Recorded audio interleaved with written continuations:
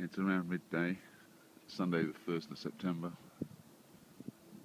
and the sky is just a, awash with chemicals. Just awash with chemicals. You can see the see the trail.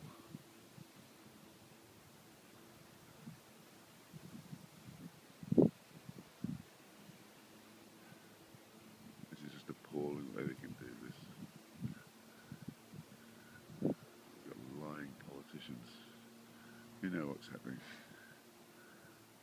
It's being paid to keep stump till they get their big fat jobs, salary jobs when they leave politics. Yeah, we know. Anyway,